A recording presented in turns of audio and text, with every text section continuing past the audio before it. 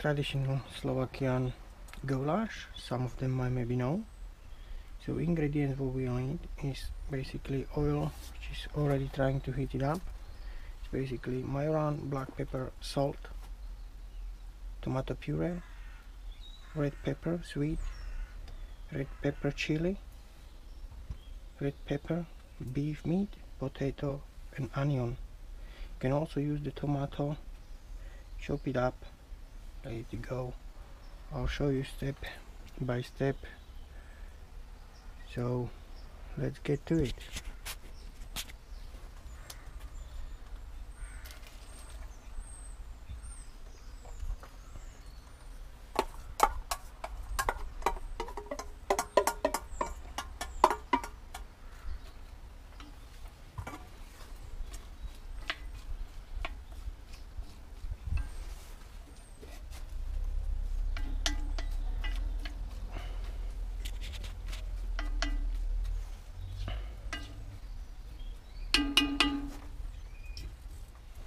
it's nice and simmering.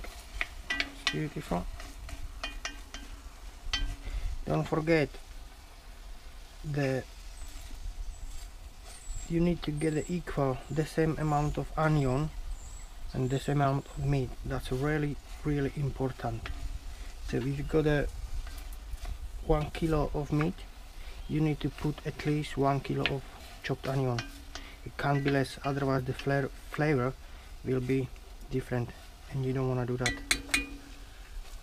We let it simmering obviously for longer. You can actually use that's the beef brisket which is good for slow and low. Really important if you're making the traditional goulash is keep the low temperature and cook it as long as, as you can that you will get the best flavor you can get. You can even mix the meat like for example you can have a beef and pork. Some people actually making with totally different meat. You wouldn't believe what kind of meat they're using to make the goulash. In our country it's a goulash really popular. They're actually making challenging who will cook the best goulash in for example five or six hours. And then basically they will choose the one which will be winner. But we'll see. Obviously I want to try to cook it on my Monolith Junior which is absolutely good. Good is not enough. For me the best barbecue I ever had. And we'll see how this end up. See you soon shortly. Make a little change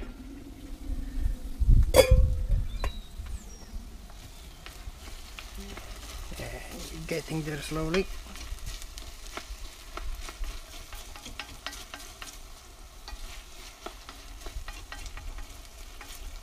Don't worry about the burn on the side of the Dutch oven. Be alright. I would say another another 10-15 minutes the onion will be ready for the meat. Alright should be ready. Yeah that's the color what we're looking for.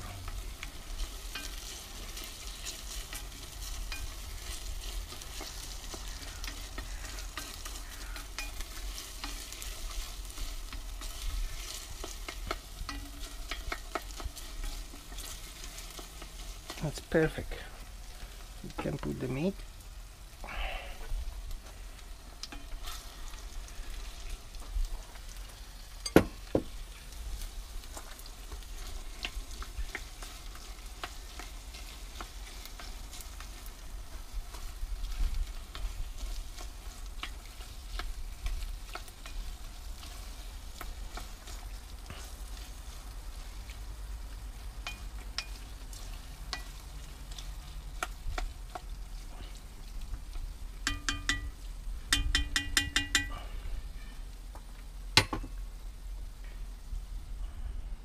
okay. That's looking good so far.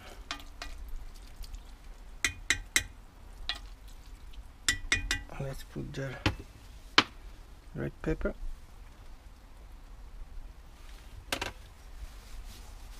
Mix it well.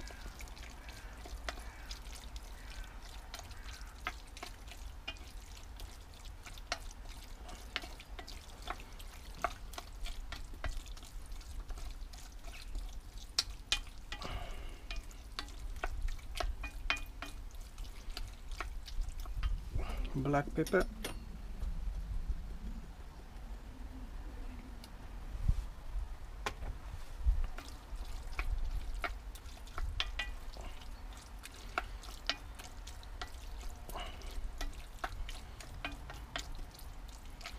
Salt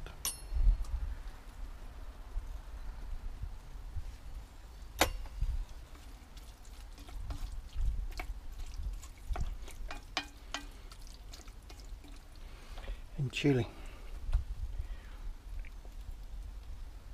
I'm not going to put everything. Ah basically did.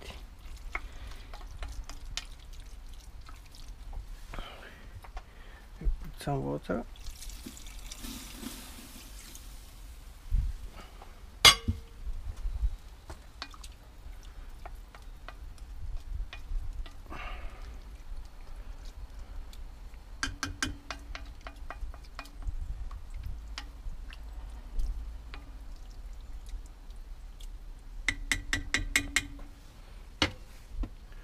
going to add more water.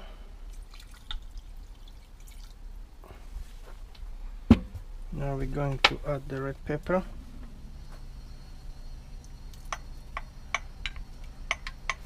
In this case if you've got the tomato I think the best time to put the tomato as well. Because we're going to cook it for at least four hours I would say so once you are done the tomato potatoes everything will be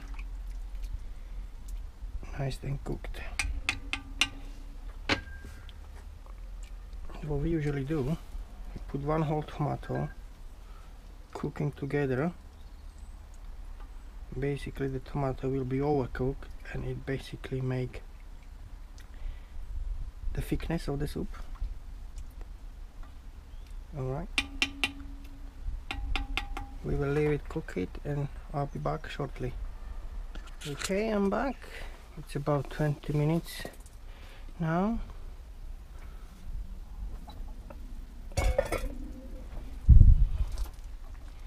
It's looking good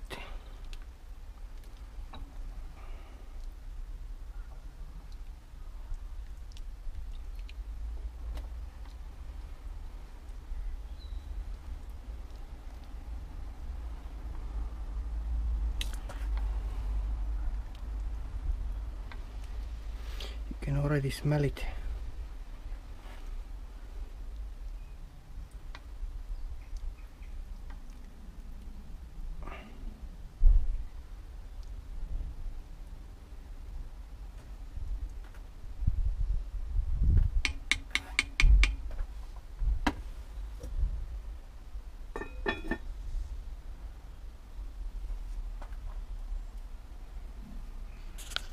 okay it's been 45 minutes and now it's gonna be time to put the tomato puree. To temperature steady 150 or 300 Fahrenheit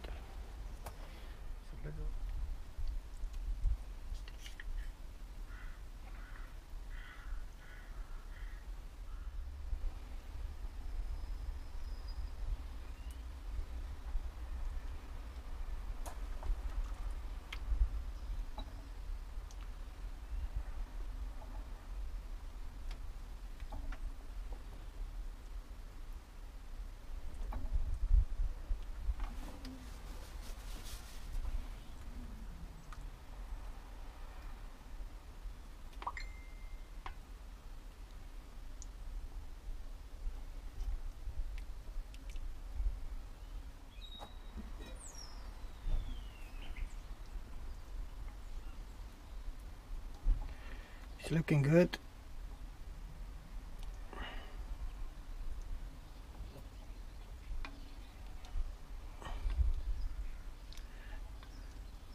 The smell is unbelievable. You need to try that, these guys, so you can see actually.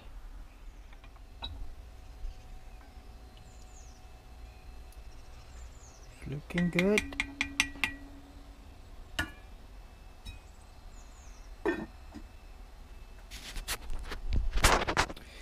Okay we are back. Now you can see I put the heat deflector for the potato and now we're just going to wait until the potatoes are done and we'll be ready for majoran and turn it off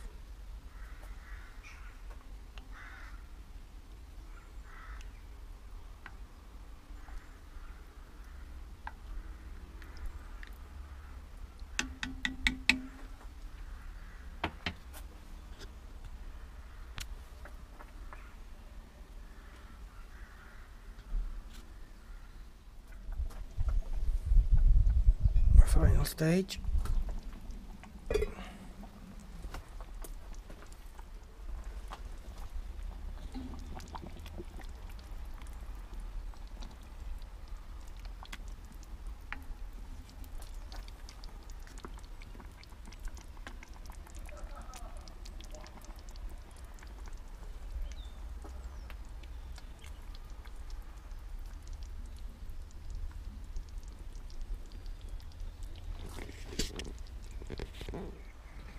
okay it is time to have a look.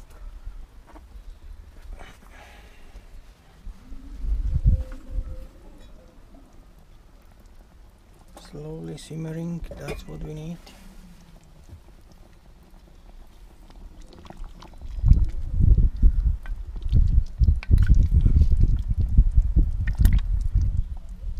just try the potato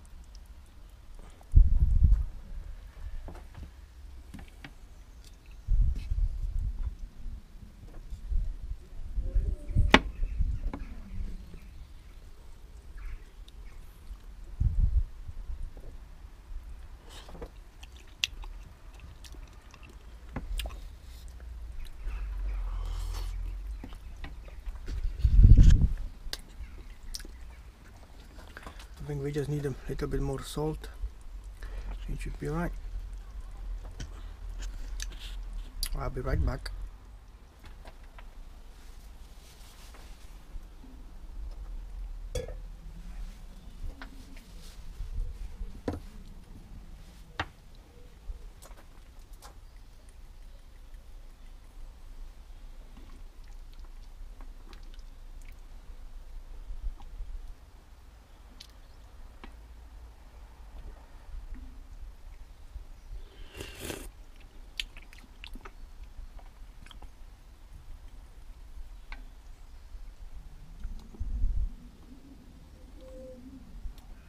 okay that should do. The majoran.